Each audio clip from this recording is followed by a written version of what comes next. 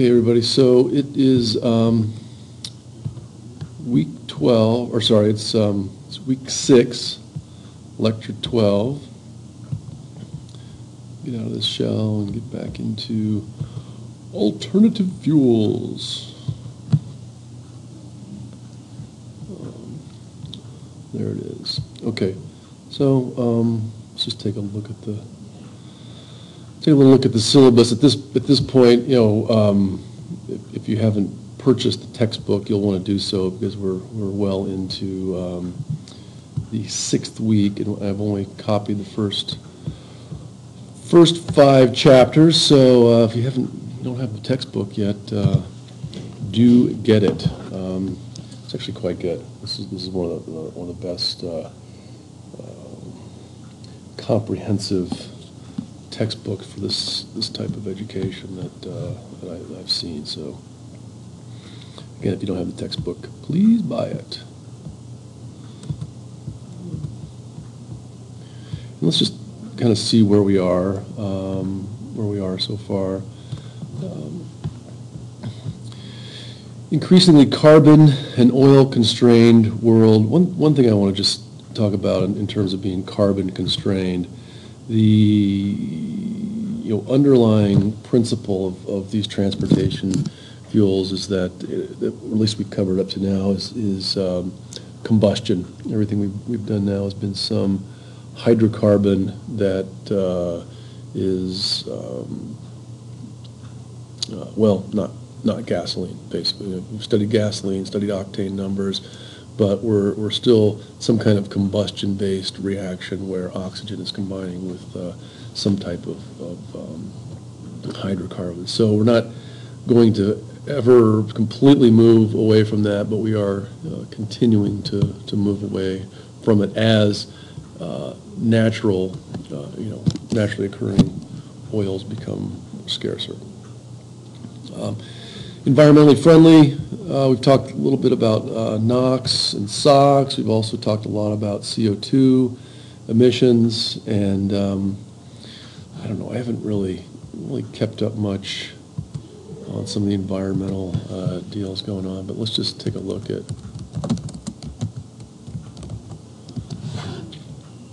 Hurricane Matthew. Just want to just dive into the news here. We can kind of treat this as a as a discussion board piece. Um, it'd be nice to see if there's any videos out there.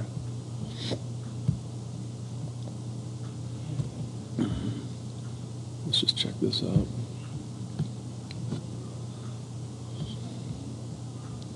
It's a pretty strong message.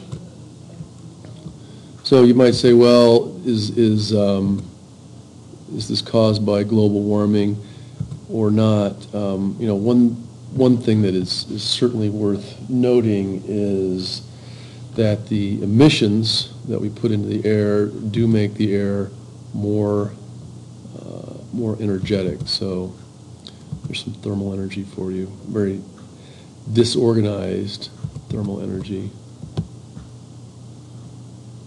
Let's just take a little, little peek here.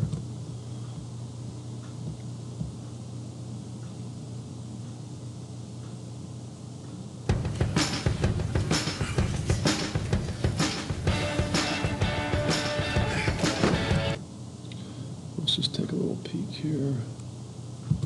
Do the full screen. There's the eye. This is a forecast I nor- model. I normally talk don't, about it. I'm going um, to show you one. don't do this, There's but the let's just take forecast model for 7 o'clock tonight. Here's what the model thinks at 1 a.m. It's a little hard to see if you're on a small TV, but there's Fort Pierce, and the eye wall is on shore, very close to Palm Beach.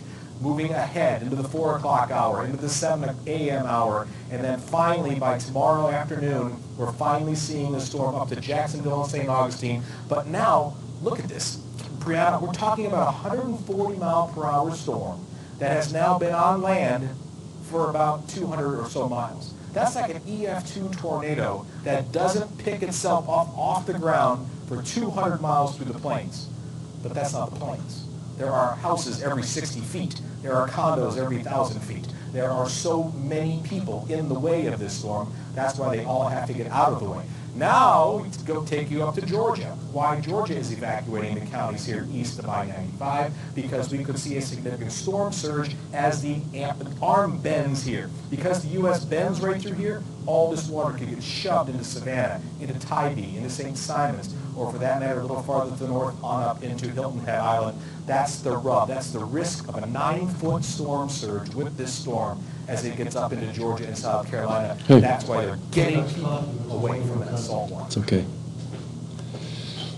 I was just taking a little uh, side note here on the, um, the weather, it's talking about the weather.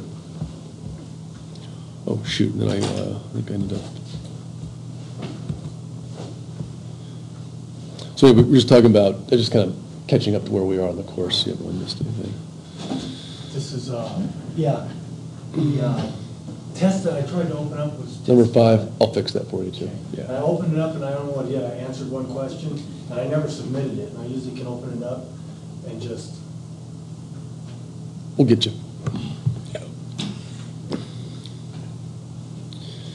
Okay, so as stated here, many of the technologies uh, that we're looking at have been explored and developed, uh, but the primary obstacle is just the, uh, the economic uh, production, just the the scalability of some of them and the, uh, the delivery in in competition. Um, So that's, you know, that's where we are.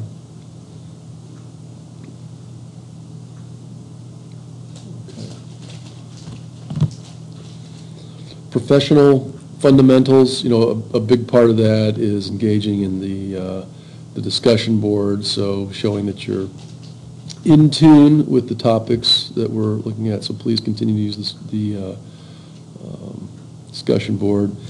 Energy infrastructure, we have not really talked a whole heck of a lot about this. When we, when we do electric vehicles though soon, I, I want to start, um, uh, start discussing that. Um, Some, some of the, the problems that we've dealt with so far, we looked at just, you know, batches of, uh, you know, liquid hydrocarbons, but in terms of how larger volumes uh, flow around the planet, um, we'll, we'll do a little bit of that when we talk about um, compressed natural gas soon. That's, um, is another alternative transportation fuel. Um, And we, we have been doing this with our, with our problem sets, just understanding the, um, the the chemistries involved. You know, in terms of hands-on, um, the, you know, the one unfortunate thing about this being a, a, an online class, we don't really have any labs, uh, for this course. There, there are field trips, um, we could take, and we've been down to Hull's Dairy, we've looked at their, uh, their uh, methane gas production. I just took a photo today. This actually might, you know, it's funny. It's funny how these things happen. Um, I just took a photo today, and this might be something, if you would like to dive into this, and again, I'm not gonna, um, it's not gonna be required, but is is that gonna come out very well? There's a, can you see that, the green zone? um, basically, and there's something on the phone that popped up too. Here. I didn't really, s- I couldn't really see. No, here we go, this will be better. So it's, Oh, it's, let me just get the right. Closer. Yeah, shove that thing right up in the, there you go. The green zone. Northwest Biofuels. So apparently, and th- there are some tanks in the back of Missoula College. Let's just, let's just Google Northwest Biofuels, because it says it right on the uh, cash register.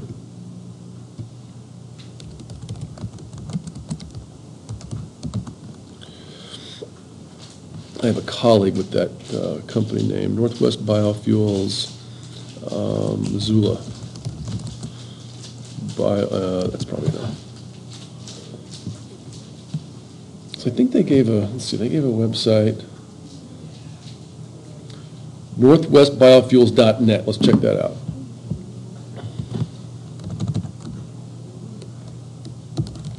Lincoln Lake, Lab Lake, Missoula counties in Montana, isn't that biofuel, northwest of Matthew, Navajo, reliable, all that's that's renewable alliances. Now, this, this one, let's just see what North, northwestbiofuels.net.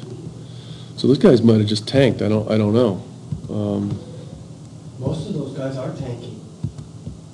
Most of the companies that are beginning here in Missoula, for some reason, they're just not. I mean, that's what you think about that place is, where Sadek's at now. That, I don't know how that place tanked. Why? They- They were making, um, you know, the immune shots that every kid's gotta have? Oh, mhm. They were making, uh, meningitis B vaccine. Oh. That's one of those vaccines that basically all kids get. I think we all got it. Hmm. Kids. Probably just moved somewhere else. No, they went bankrupt. Interesting. They went bankrupt, yeah, you could, you could tell by going in and looking at everything in there, everybody's like, why'd they take this, why'd they take that, why'd they take this, and I'm walking through the place again, because they went bankrupt and they're getting all the money they can Yeah. out of this place. Garage sale. Oh, yeah, but why would anybody do this? Because they went bankrupt and they're selling the copper wire. Yeah. Well, we just, I guess, I just learned something, that there, there is no northwestbiofuels.net. So you might say, oh, well, too bad, or you might say, hey, here's an opportunity. So, two different ways to look at that. Um, I just, I just tried to find it, and it just, Opportunity for what, though? well, to start, start your own company. You know, where there's, there's a, a vacuum. That's you? Okay, good. Yeah, I sent off something to Acuity over at the, uh, this three D printing place, the Fab, Fab Factory over, you know, where they used to have the office over in, um, over by where the new college is at, it's right next to it. Oh, at MonTEC? Yeah, it's, Mhm. it's, in- it's one of the shops in Montauk, maybe they took the old shop, I don't know, but it's called Acuity. Yeah. Three D printing Yeah. and fabrica- fabrication and stuff. Oh, they're still there, good. I want to take a tour to see what, obviously, I'd be able to get Pennywise. Because if I can, if I can draw the CAD, send the CAD off to somebody, make the little piece and just get it here and start assembling piece by piece, I'm gonna have something, my engine's. gonna- Oh, I see, for your, My uh, engine is gonna sit right here. Oh, so good. I'm gonna be able to work on it right, you know. Oh, nice. a little- Okay. Instead of being the big, you know, three fifty engine block Yeah. size that I've got it in now. mhm. cool. Okay, and then the other one, uh, prepare for an alternative fueled economy. Uh, Let me, let me just show you my own recent, um, Be easier if we were in Colombia, or is it Brazil? I think it's Brazil. Well, yeah, Brazil does have a lot of uh, ethanol, yeah. Well, what we, what we do have here in Montana is a, is a heck of a lot of wood. Uh, we got a lot of um, dead wood. So we were lucky enough to attend this, and so there's your um, United States Wood Energy Team Forum. And um, it is, it is possible to gasify wood. We've got this uh, wood gasifier, another thing that, um, again, I, I um, would love to see, uh, if you, if you would like to do a, a project with this course, um, love to go down and do the, uh, the Biomax renovation. I'm in. Yeah. So here's, um, this is, you know, that actually is our, uh, our exact trailer right there, so.